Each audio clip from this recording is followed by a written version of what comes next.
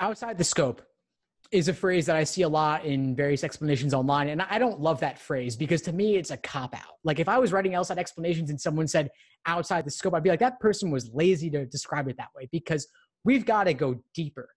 How is it outside the scope? Outside the scope just means it was not supported, it was not warranted to assume that. But why wasn't it warranted? What kind of leap were they making? Like confusing, necessary, and sufficient is a way of being outside the scope.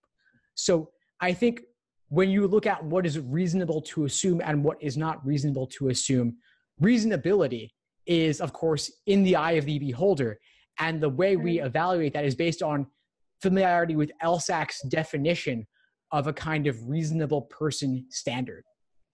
And so it does come through exposure to the exam.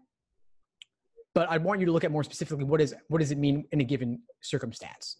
I said that necessary assumption questions they'll oftentimes have a new a new idea in the conclusion that did not appear in the evidence.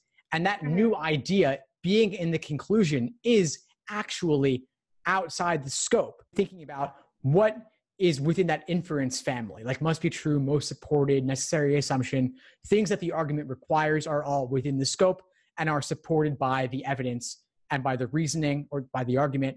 Things beyond would be new information